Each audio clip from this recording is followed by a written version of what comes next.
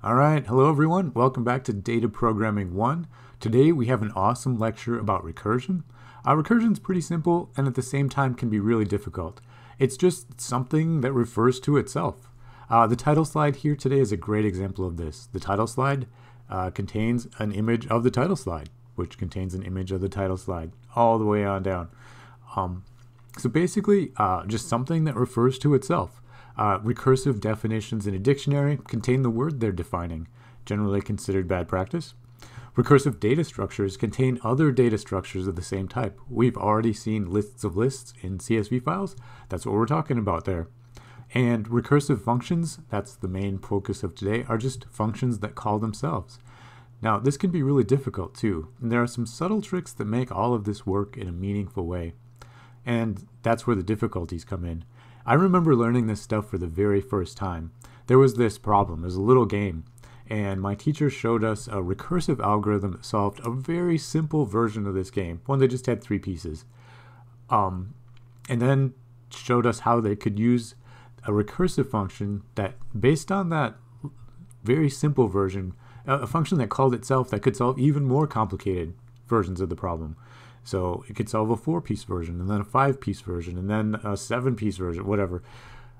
To this day, I can still remember that recursive algorithm, and I still cannot solve that problem without the recursive algorithm. I don't know. I know it's possible, but it makes my brain hurt, and I've never figured it out.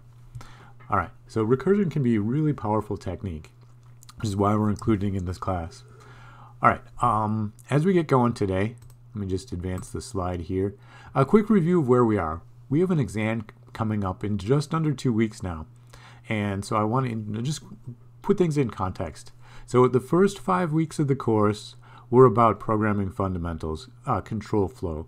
We talked about um, conditional statements with the if statements, loops, the while loop, for loop, with two different kinds of for loops. Um, you know, basic control flow. And part two of the course, the second five weeks, are about data structures. So the first two we introduced were lists and dictionaries. We also had sets and tuples. Oh, with lists and, dic and dictionaries, these are the main, most important ones. With these two data structures, you can basically solve any data organization problem that you'll be faced. All right, after that, we moved on and talked about data files. We talked about uh, comma separated values uh, files, uh, CSV, which are essentially represented as lists of lists in Python. We also talked about JSON files. A little more versatile, we can basically put anything into a JSON file, including dictionaries. Um, then we moved on and talked about objects and references. This is conceptually one of the more difficult topics, but understanding this is going to help you debug your code and it, it I'm not understanding exactly how this works. Under, you know, missing the fact that when I say x equals y, that x is now referring to the same thing that y does, can lead to some really subtle errors that you know may return an answer, but it may be the wrong answer, and you know you may be changing a variable that actually changes another variable too. So it leads to some tricky stuff. Well worth spending some time on. It's going to be a major focus of our exam. All right, after that, uh, we've got three sort of specialty topics about functions. I'm just going to call them fancy functions. Uh, today is recursion. Uh, Monday will be generators. And then we're going to learn on Wednesday that functions are actually objects. I can take a variable and I can assign a function to it. It'll be an object over in Python Tutor on the object side of a variable on the right. I can pass that to other functions. Cool stuff. Um, so after these three topics, these are all kind of hard. Yeah, from objects and references all the way down to functions or objects, challenging stuff. So from there, we're going to move into some easier stuff. We'll have a lecture on files, uh, a lecture on errors, and that's going to be it for what's on the exam, if I remember correctly. All right, I also forgot to mention as we get started, there is a lecture 22 template. I think this is misnamed. I think we're on lecture 21, but uh, I lost count once we got above 10, ran out of fingers. Um, Check this out. The very first thing, we're going to do a little review of copying. So go ahead and copy and paste this code into Python Tutor so we get that picture on the right side. We'll go ahead, we'll uncomment each of these. You guys can follow along. Um, the rest of this is just some some guidelines to help take notes during class and uh, some examples that we'll develop together at the end. All right, so I'm going to jump over to Python Tutor where I've already copied this material. I have this set up in the version that renders all objects on the heap. Um, so here's the idea. Uh, we're going to be reviewing copying real quick. So I'm importing the copy module. Uh, I've got x is equal to a list that contains a single list that contains a single list that has two objects in it. They're strings, the string hello and the string world. So when I look over here, I've got copy, which is this module that I've imported. So I can refer to copy, I can use the functions in this module. It's available in the global frame. Then I've got x. x is a refers to a list that's got one element, so it has a reference to another list. One element at position zero, that's referring to a list. That list has two things in it. Those objects are both strings. The first string is hello, and the second string is world. Okay, I'm going to switch this back to inline primitives, don't nest objects. And the reason I can get away with this is because hello and world are both strings, and those are immutable. And I think this is a really important concept here. I, I can get away with this because I can never change this object. So as I draw more and more um, data structures over here that contain reference to this hello, I can put them each in their own box. If they ever do try and change it, if they try and change it, it'll give them an error. If they reassign it to a different, reassign that um, index, that element right there, to a different word, it just is going to get a new copy of the new word. Um, not a copy, it's going to get a new word, a new string. All right, so uh, this is the innocent live version, but because these things are immutable, it works great. I can just put the word right in this box. All right, so we're already quite familiar with the idea of making a reference copy. This is the easy one. Here's the idea. I'm creating a new variable y, and y is going to refer to the same thing that x does.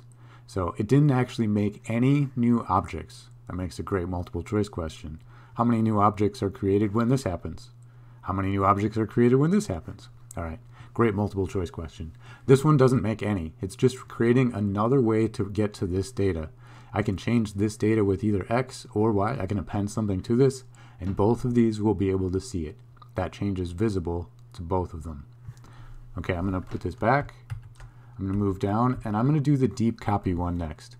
Uh, the last example, one I did last time, didn't really fit on the screen very well. It was too big, so this is a much better choice. Here we have, I'm creating a deep copy. That means it's going to follow all of the arrows.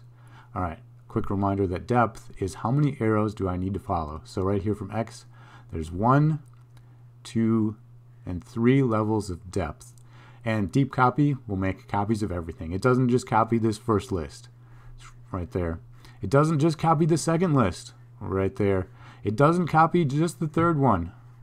There, we made a copy. It continues to going all the way down until absolutely everything is copied. We're not going to have any references connecting these two data structures at all when we're done. Everything will be a brand new version.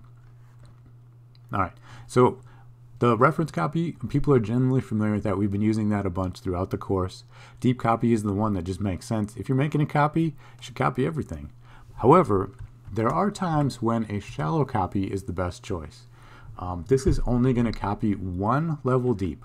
It's going to make exactly one new object. So, and that object is going to be a copy of whatever's at the end of the first arrow. Uh, the contents of that, if these uh, elements in the list or elements in the dictionary or whatever refer to other things, they're going to refer to the same thing. Okay, so this, my X list right here, refers to that object, that list. So that means when I make a shallow copy, I've got a new list here with one element, and that element is going to refer to the very same list right there. All right, so this is probably the most confusing one.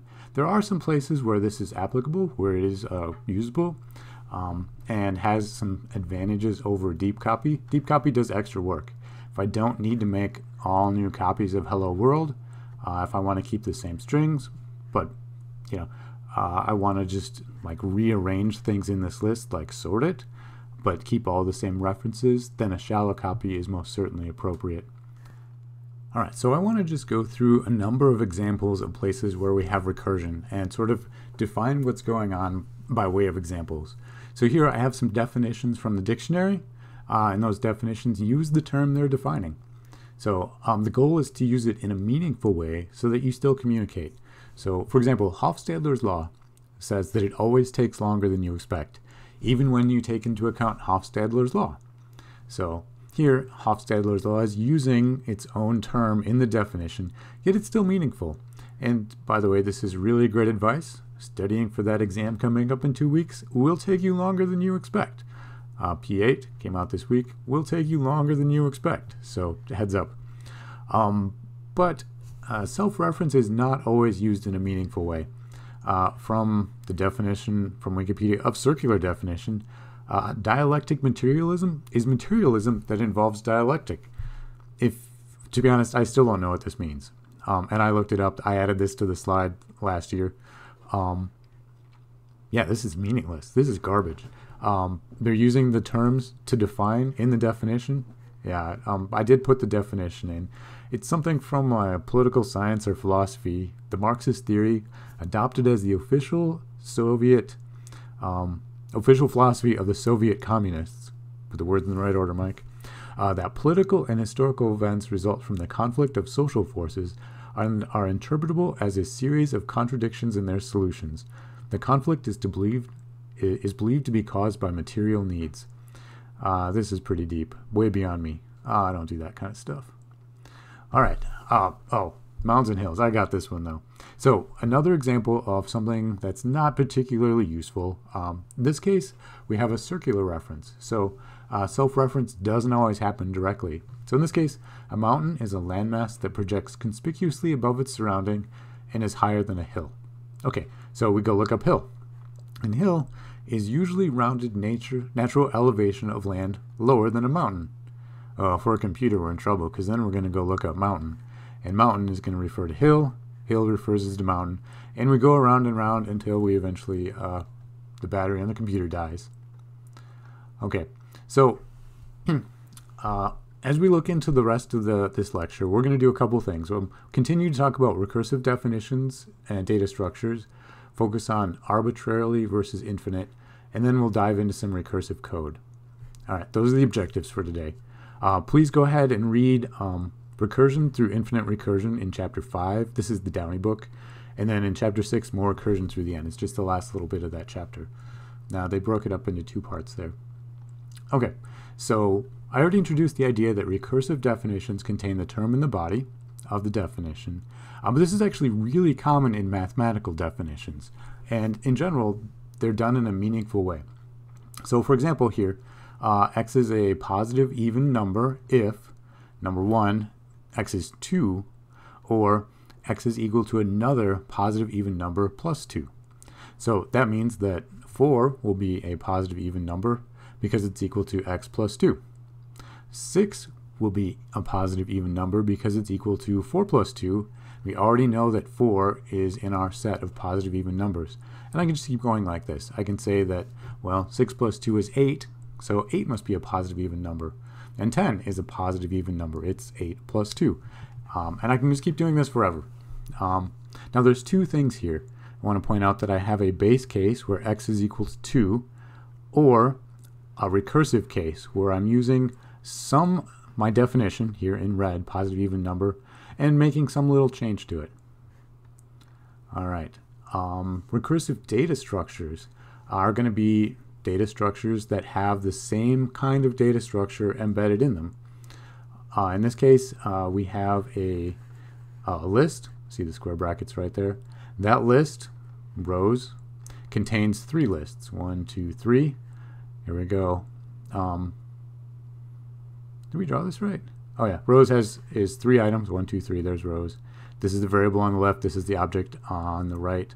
And then each of these objects contain um, more lists. So this one has a string A in it and another list. So this is going to be a reference to that other list, the 1, 2. Uh, list here contains B and uh, a second list also with 3, 4, and 5 in it. Uh, you get the idea. So lists that contain lists that contain lists are recursive data structures. And we'll be using these in some of our examples later in uh, today's lecture. Okay, and when you guys start looking, you're going to start to see recursive structures everywhere. We'll see them in nature. Uh, my other two demonstrations for today are file structures, uh, directories, uh, and file formats. Okay, so let's take a look at nature. This is a definition of a tree as written by a computer scientist. So it's a little weird. Um, but, but work with me here. Uh, it's designed to be instructive. All right, so uh, the term is branch, and a branch is a wooden stick with an end splitting into other branches or terminating with a leaf. So here's my first stick. It has more sticks, in this case three sticks on the end of it, and they can either terminate with a leaf or they can have other branches attached to them.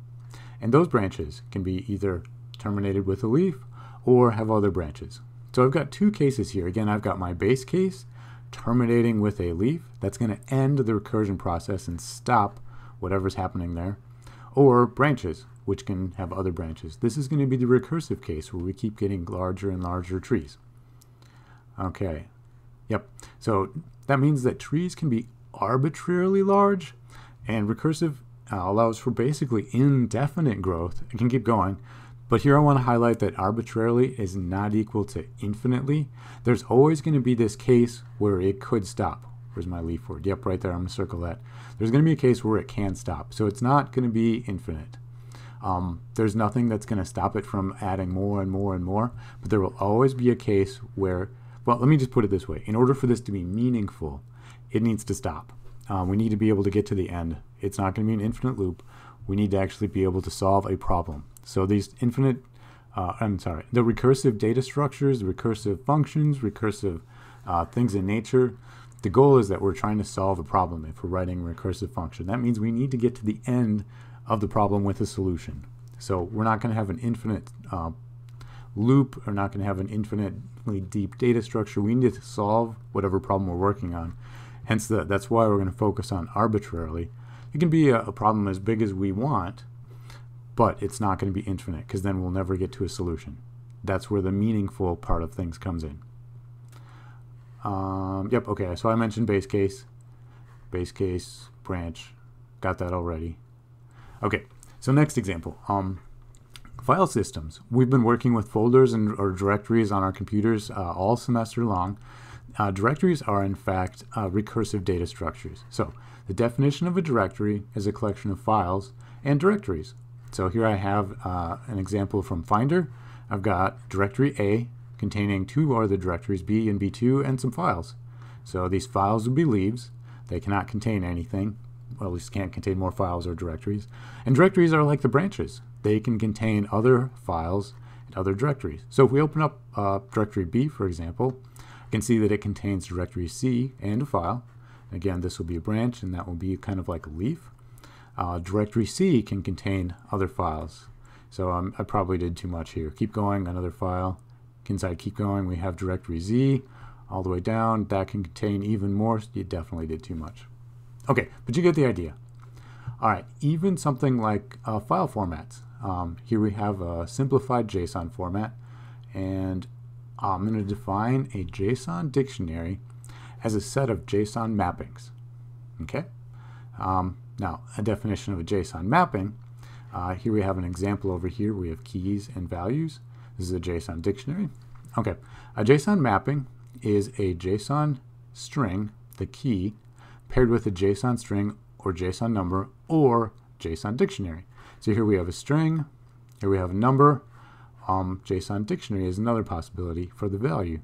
And so here I have JSON dict, up here is JSON dict. Okay, so it's not a direct uh, recursion, uh, it's indirect. I'm going through another definition of JSON mappings, but it eventually it comes back around. Okay, oh yeah, all right, got a slide for this. Recursion is uh, not always direct. Okay, so here under exams, I've added another element, another key. I have another dictionary. Um, in fact, I can keep going. I can say the midterm is going to be, in fact, yet another dictionary, and the final will be another dictionary. Um, and so, yeah, my very first dictionary so think about it like this. The dictionaries or lists are going to be like branches, and the data they contain, the strings or numbers, will be the leaves. All right, at this point, we're going to start moving into recursive code. So what is recursive code? It's uh, very straightforward. This is just going to be a function that calls itself, and potentially indirectly. So here I have function f calling function f. Indirectly, function g calls function h, h calls function g. So I get this, this circular sort of structure, f or gh. Um, what's this look like? Uh, we know how to call functions. So here I have the function definition for f, got some code, somewhere in there is going to be a function call that calls f. So I'm just f with parentheses behind it. Um, some other code. So this will call f, it's going to go back up, f, and round in a circle. Uh, we'll need a way to get out of that loop for this to be meaningful. In G, we've got some code. This calls H, other code. Um, when we get to H, we've got some code. This is going to call G and jump back up here. So pretty straightforward. Um, but there are some tricks. Uh, oh, but first, uh, why do we care? What's the motivation? So some of the reasons we care is that we often don't know how big our data set is. We've talked about this before. This was the primary motivation behind iteration. Um, uh, iteration and recursion are equally powerful techniques. In theory, any problem we can solve with iteration can also be solved with recursion. And any problem that can be solved with recursion can also be solved with iteration. So think about this as like another way to loop through all of our data. Um, now, there's almost always one version that's easier and or simpler or faster uh, or just straight up makes the code more understandable. One of these is going to be better. Um, but it could be either one. All right. So, and in addition, another way to think about this is recursion is a way that takes a gigantic big problem and turns it into a smaller problem. It's going to reduce the size of the problem. So I don't know if you guys have ever watched anybody cut down a tree, but here's this giant tree next to a house. And so when the uh, Texas tree surgeons come in, they're going to climb up in the tree and then cut it down in pieces. And they're going to see that each of these branches looks kind of like a tree. So they're going to take off basically a baby tree, the branches at the top, and then they're going to work their way down and make the tree smaller and smaller as they go through. There we go. I couldn't resist. Everybody, this is my dad. Up there, he's 73 years old. Just just check out the way he's standing on that ladder. One foot on top of the ladder, precariously balanced in the tree, cutting a branch off the tree right next to the house. I want to point out that the branch is falling on my son, who's holding the ladder while I'm taking this picture. So this is not a parent of the year kind of moment. I probably shouldn't share this, but uh, I've done this. I've cut down trees, and I think, you know, just hope everybody smiles at this one. All right. All right, and then the next piece, uh, if we were in class, we would do this demo. I'm not sure if Mina talked about it in her lecture or not. I'm going to totally skip this one because it's designed for like a classroom where there are people sitting there and you've got like other students around you to talk. But you can check out the slides if you're interested in what we do in the live classroom. It's not going to work if it's just me sitting here in the basement office recording videos. So I'm going to go ahead and skip ahead one second. I should also mention that the hat I'm wearing is not a, a black top hat. It's a regular baseball hat, so I don't I don't own a top hat, but it looks good in the picture, does it not? All right, as we move into the next section of this lecture, I want to talk about um, creating um, recursive functions that solve a problem. That's my goal. I want to get there. And to get there, I'm going to go through an example. And the one I'm going to do first is factorial. So factorial is a mathematical function. Uh, if you guys don't remember what it is, it's uh, n factorial is just 1 times 2 times 3 times 4 times all the way up to n. So that's the definition of factorial. So as I go through and try and come up with a recursive function for this, I want to introduce you guys to Mike's four-step system to writing recursive functions. Um, actually, I stole this from Tyler. This is Tyler's four-step system, but I color-coded it. So it's better now with color. All right, so here's the idea. The first thing we're going to do is write out a bunch of different examples. We're going to start with the really simple examples um, and then work our way up to bigger and bigger problems. Just like that game I mentioned when I had the title slide up. Um, still never figured that one out. But anyway, so 1 factorial is the simplest thing we can do. It's just going to be 1 and then we're done. 2, uh, next simplest, we're going to have 1 times 2 and then we stop there because n is equal to 2. 3, we got 1 times 2 is times 3. 4 is 1 times 2 times 3 times 4. Okay, you guys get the idea. We're going to write down a bunch of examples. All right, then uh, we're going to look for patterns that allow us to write this uh, in uh, terms of self-reference. So I'm going to look for patterns. So check this out. Right here, I've got 1, 2, 3 times 4. And in 4, I've got 1 times 2 times 3 times 4. So that means I can take this red block right here and replace it with this 4 factorial. Okay, so that's what I've done here. 5 factorial is now 4 factorial times 5. All right, I'm going to look for more patterns now. Here's another one. So I've got 1 times 2 times 3 in the definition of 4 factorial, and there's a 1 times 2 times 3, mm, that is the definition of 3 factorial. So that means in 4 factorial, I can replace this much with 3 factorial. And I write it right here. 3 factorial times 4. All right, and then and keep going. 2 factorial times 3, 1 factorial times 1. So after this, oh, and then one more. I don't need a pattern for 1. This is just the base case. I need somewhere to start. All right, so next up, after I have that, I'm going to try and convert all of these self-referring examples into a single recursive definition. So I'm going to try and take these guys, put them into one definition. And this is always going to have two parts for um, a recursive function. First, I have the base case. Uh, personally, I highly recommend writing the base case first. That way you don't forget it. It's really easy to do because uh, the exciting part is the recursive case. Let's face it, 1 factorial is 1. Very simple. Write it first, get it out of the way. This is our, our base case or the leaf. This is what's going to terminate the recursion when I get down to the end of it.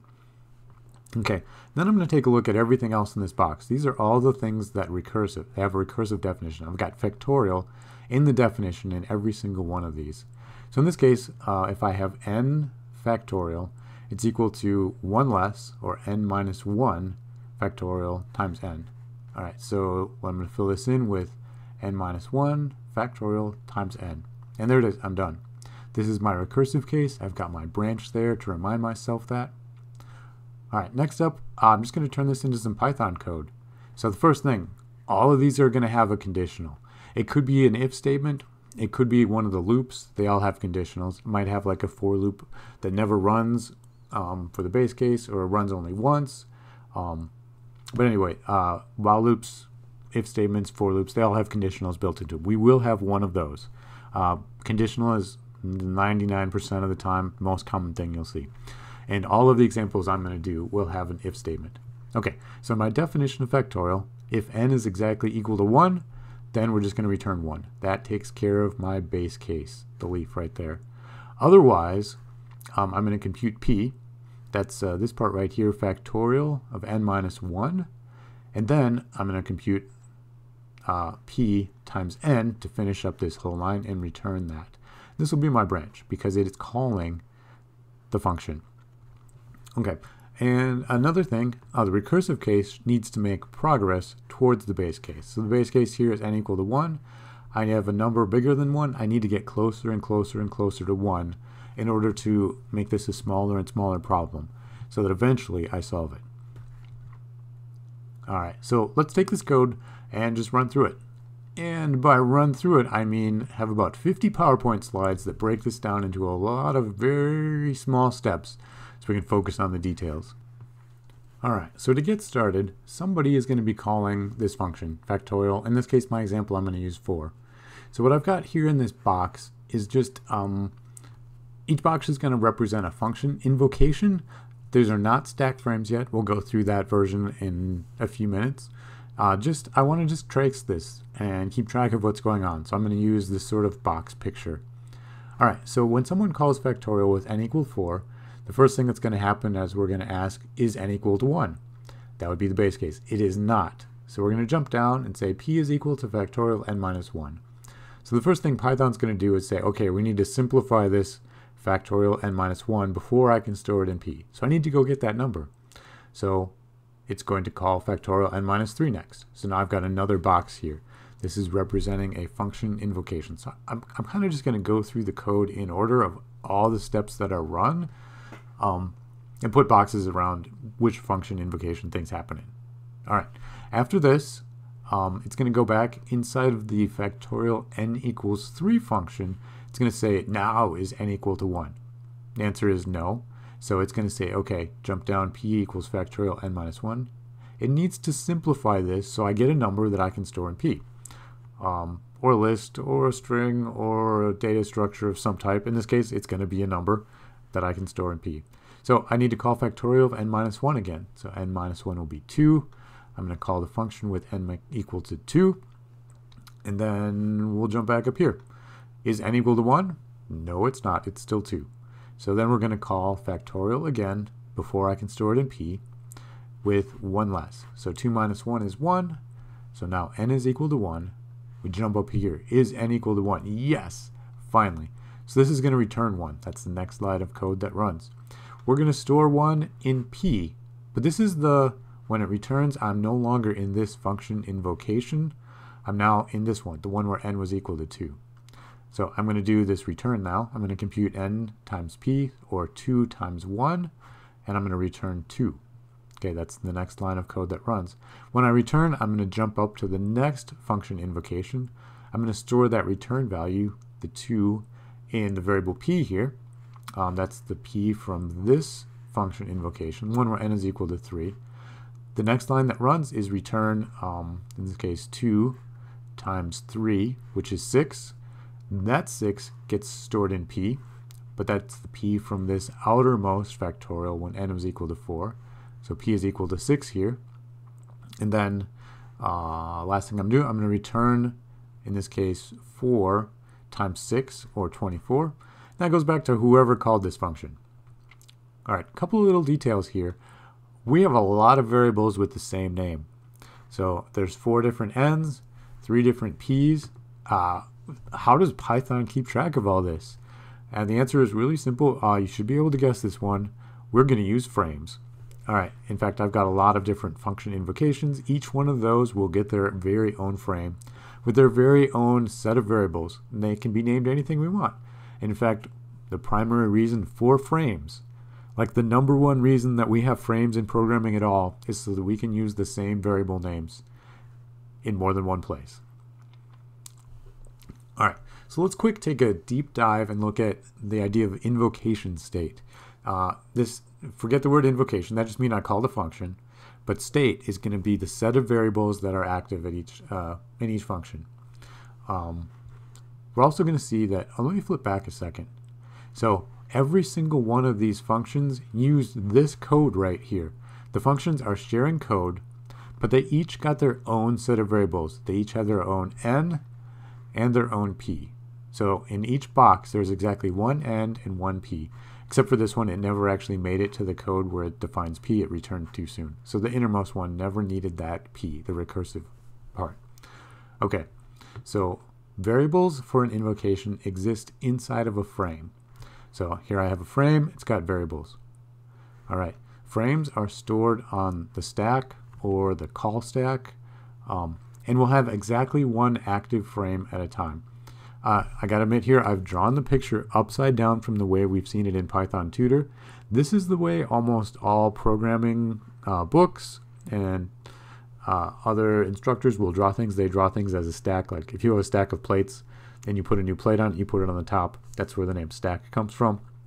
Um, Python Tutor draws it upside down. Uh, part of me wishes I'd flipped the colors and just made it match, but this is so common you're likely going to see the stack drawn this way other places as you continue on in computer science that it's probably worth re realizing that it doesn't really matter which way you draw the stack. It is reversed from Python Tutor. Um, so a heads up. Uh, all right, anyway, it's going to work the same way. Frames are going to be stored in a stack.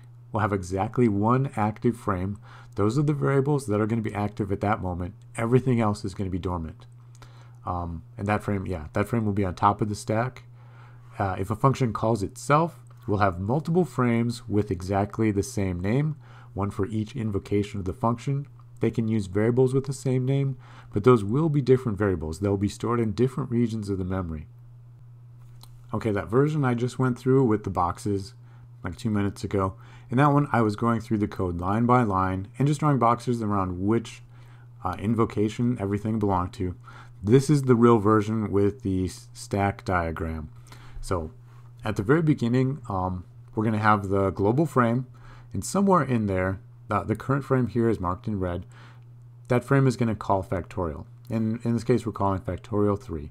So it's going to create a new frame.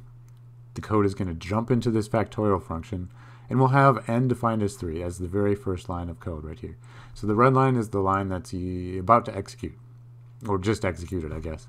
So here we have a new active frame, the one drawn in red. First thing we do is n equal to 1. Um, no, it's not. So we jump down here. We're going to need to define p. Um, so we'll be calling factorial of n minus 1. This is going to generate a new frame. So check this out. Along the bottom here, I've got time. So right now, this is the invocation that's active. We're just going to watch the clock go by. So we've called another function. We add in a new frame to the top of the stack. Um, in this case, n is equal to 2. Right there, it's going to skip over this n equals 1 line. I need to call factorial one more time with n minus 1. So as soon as I call that, I'm going to advance the clock. I'm going to get a new frame for when we call factorial n equal 1. It's going to get added to the top of the stack here. And we'll go through this one.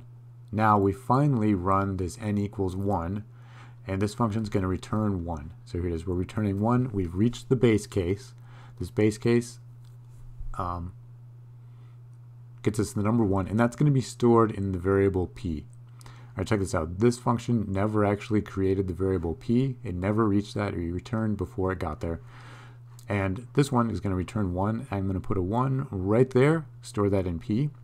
And now I have enough information that I can return from this function. So I'll compute 2 times 1. I get 2.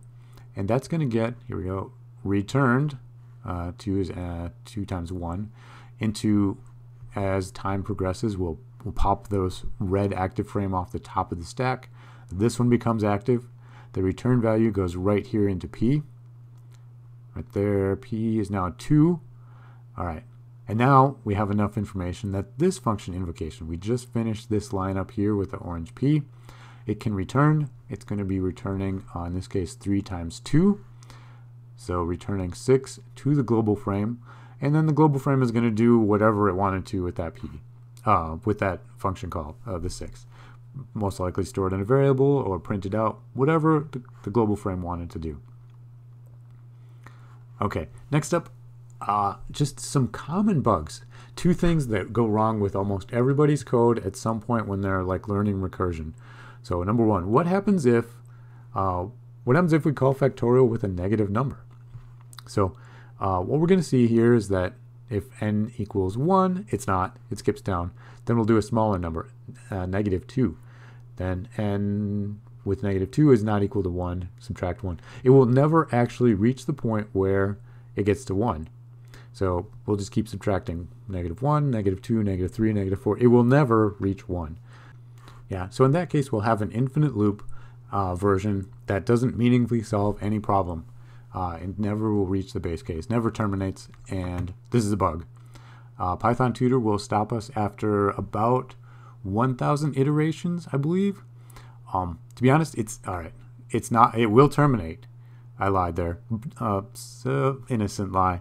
Um, part of the reason that this is this will terminate is your computer has finite resources, and every time we call this function, it needs a little more memory to remember what n is, and a little bit more memory to remember what the next n is, and a little bit more memory for the next n.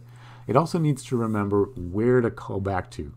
So it's storing at least two pieces of information, where to jump back to in the code, and the variable for the parameters. And so that's going to slowly use up all the memory in your computer, and when your computer runs out of memory, it will crash. So, um, infinite is bad, and this is not like an infinite loop, like a while loop, while true. That doesn't actually take any more memory uh, every time that you go through the loop, but this one will. Okay, now the other really common bug um, is what if we forget the n minus 1 check? Uh, I told you guys a moment ago, write the base case first. Don't forget the base case. It's so simple. It's not the really, you know, exciting part of the function. It doesn't really do very much. It's just like if this, then return something. Write it first so you don't forget. All right, if you do forget this n equals 1 check, and you call factorial 3, it's going to call factorial 2, then factorial 1, then factorial 0, then factorial minus 1. It's never going to stop. So 3, 2, 1, 0, minus 1. It's going to go on forever. And again, by forever, I mean until your computer runs out of memory.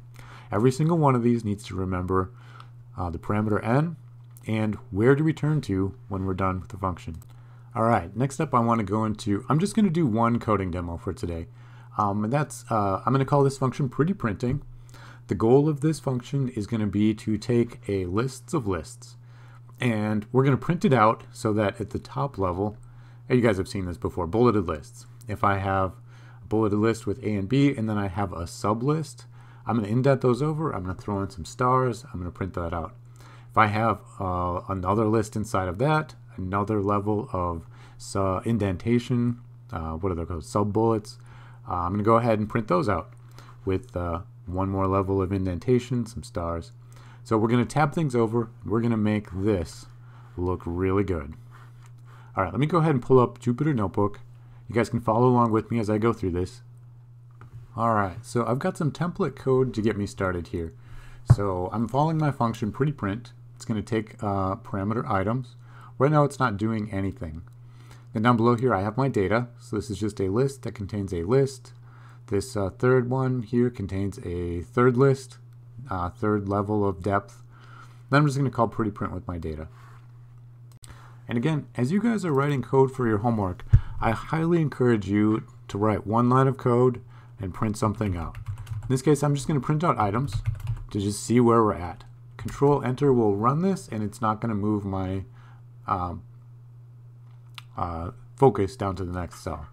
So I'm going to print something out after every line of code that I write. Good strategy. Uh, I've seen a lot of people in office hours who bring in 30 lines of code with not a single print statement in there. First thing we do is I make you put them in. So go ahead, just start that out for me before you come to office hours. All right, so great. We printed out items. It's printing it out as a regular list, uh, but what I really want is every item on its own line. So I'm going to go ahead and do this a little differently. We're just going to loop through the list and print out the items. So here we'll do for item in items. Does that work for everybody? And then we'll print out not items, but item singular. All right, let's try this. Control Enter. Um, that's looking good. So the top level I've got A, then it's going to print out this list, then we've got B, then it's going to print out this list containing that list. So there we go. All right, next up, I'm going to go ahead and add the star here. So let's print out a star, and then we'll add item to it. Oh, wait a second. What did I do? Ta oh, I'm trying to concatenate a string and a list. So right here, um, item, first time through is A. That's a string. Star plus string works great. I got that. Next up, I'm trying to do star plus list. That does, is not going to work. Fortunately, print is actually really intelligent. If I just switch this up to a comma, um, it knows how to print each of these things on its own. And now it's going to work just fine. There we go, perfect. So now I'm printing star. Um, it's going to add a space for me. That's the generic sep wait, comma, and a space. That's the sep is equal to that. Remember, I've got all that control. I've got sep and end in the print statements. Um, then it's printing out the item. So first item is the string A. Second item is this list. Third item will be B. All right, now what I really want is not printing the entire list like this. I want to like flatten out this list and print out all of the items in this list also. Um, and then indent them over, of course. Now, remember a moment ago I told you guys to always start with the base case? This is the base case right here. I'm just printing out the top level stuff. Um, so I want to print A. If there, if A is not a list or another dictionary or something, in this case I'm printing lists of lists. If it's not a list, then I just want to print it out and I'm done. Now the problem I'm running into is what if it's a list? So let me just go ahead. I'm going to push B to get another cell right here. If I wanted to, I've got something that prints out all the items in a list. Check this out. Uh, data of 2, whoops, of 1 is a list, right? So if I run this cell, yeah, it's a list. What I can do is I can actually call pretty print on data of 1, and that's going to print out the sublist. So what I really want to do is this sort of thing. And in this case, up here inside of this loop right here, item is actually going to be data 1 on the second time through the list. Item will be data 0 the first time, the second time through it'll be data 1, third time through it'll be data 2, and the fourth time it will be data 3. Alright, so here's what I want to do. Um, is say, so, and again, all of my recursive functions are going to have an if statement or a conditional of some kind. If, and then um, what I want to know is if this is a list, then I want to call pretty print. If it's not a list, then I want to just print it out. So else, we'll do that.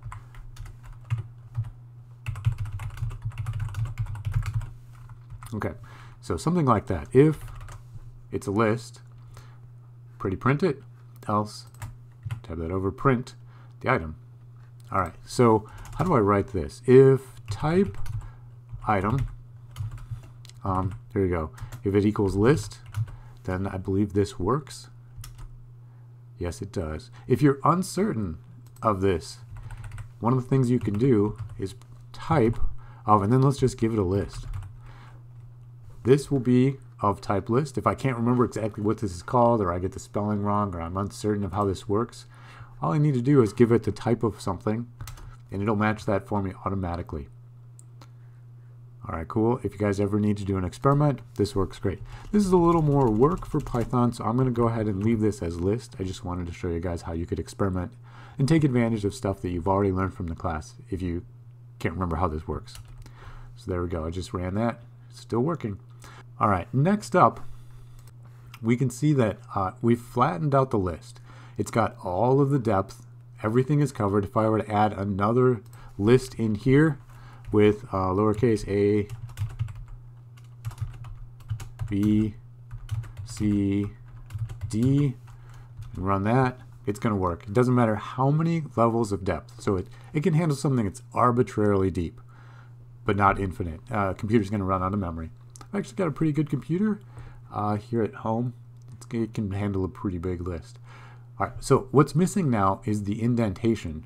So let's go ahead and add um, something to keep track of the level of indentation because it's going to change.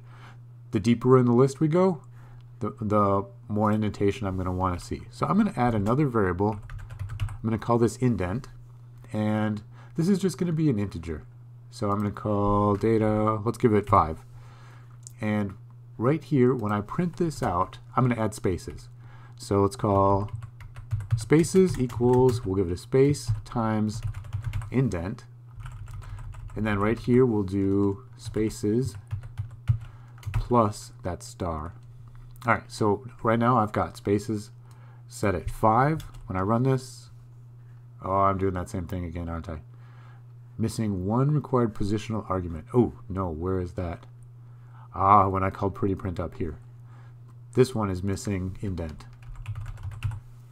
Okay, so indent is called. It's going to be 5 right here. When I get here, it'll still be 5. Looking good. Okay. Please work, please work. Yes. Okay, so here it is at 5. Let's try 10. We should see this jump over. I'm going to put the mouse cursor right there. There we go. 10, 20. Should mouse cursor right there. Should jump over even more. Okay, looking good. That indentation is working, but it's not like adaptive. It's it's printing everything at 20 spaces over. So I'm going to go ahead um, and let's just set this at zero for right now. Run that there. Everything at the top level we want to be indented zero spaces. Then as we go further and further in depth, what I really want to do is move it over. So when I call pretty print for the second level, of this list when I want to print out like that list right there. But I really want us to do indent plus more. I want to increase this. So right there, I'm just going to add a plus 2. And let's go ahead, every time I run this, I want to print something out. I'm going to add a new print statement. So here I'm going to be printing items and indent. All right, let's see what we got here.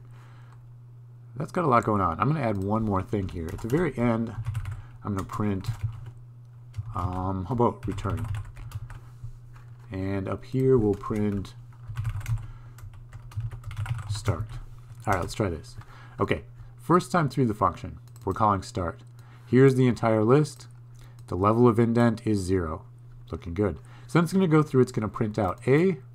Here we get to the point where I've got that second level of list. And yeah, so this is items of 1. It's calling with an indentation level of 2. And now it's going through and printing out that list. 1, 2, 3. Okay, then we're back. It's returning It hit that uh, final line right there. And now it's going to go through and print out the third item from that top level list. So we just got to B. So it's going to print out B. And then it's going to go through and find this monstrosity, the next level. So we're going to start. This is the sublist. Whoops, whoops, hold on. This is the sublist it's trying to print out. It's a second level, so indentation of two spaces. We print out the four, and then we hit this list. Okay, that's this piece right here with all of the lowercase i's. And this is going to be a third level. So 0, 2, and now 4 spaces of indent. We can see it's spaced over 4. Looking good. Um, then we get to this sublist with all the lowercase a, b, c, d. Uh, so we hit start again when this function is called, when pretty print is called again. We go to start. It's printing out the list it's going to print, a, b, c, d. Six levels of spaces. And again, it's tabbed all this over. And then we finished up the function call that did the ABCD. We finished up the function call that did the 1, 2. We returned from the function call that printed the 4. And we returned from the function call, the very first one, that call right there that printed the entire list. So we've got four levels of return at the very end. That last one was four levels deep, depth 4. Okay, I'm going to do a couple things now. I know it's working. I'm going to get rid of all of this scaffolding printing I don't need it anymore. If I can do control enter, it should print my list so that it looks really good. I love it. That looks great. And the other thing I want to do, um, if you guys think back, we had three different kinds of parameters. We had positional, we had keyword, and we had default parameters. I'm thinking that this would be a great place to use default parameters. So I'm going to take out that zero right there and just say indent equals zero. If we don't call it with anything, we don't want it to indent.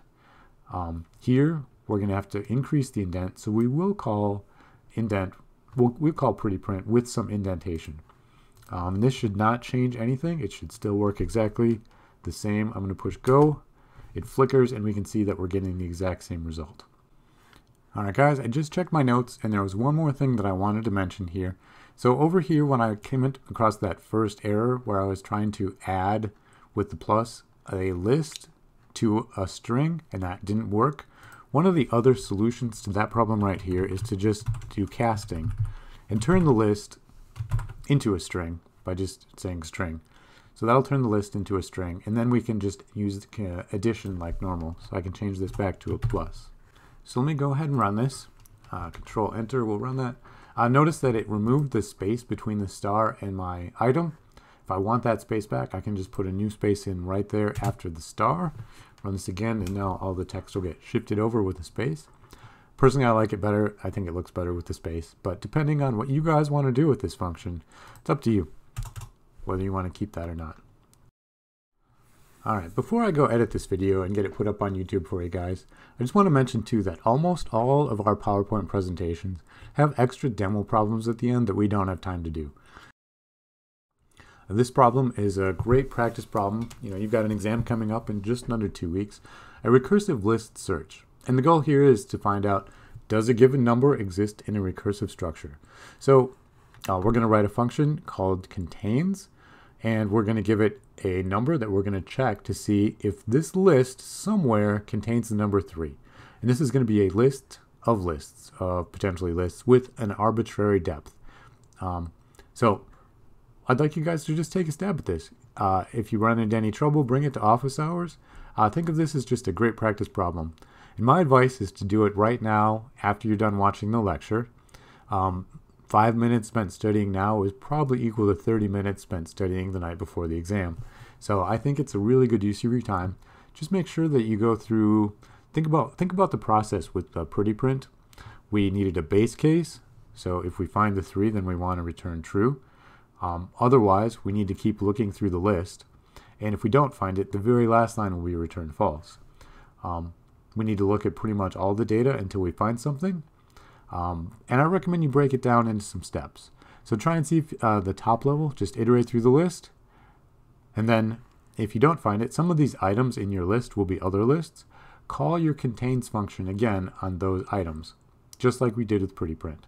And with kind of a fun joke from XKCD, All right. Uh, I just want to wish everyone to have a great weekend. And if you have any questions, bring them to office hours or post them on Piazza. Good luck with Project 8 and have a great day.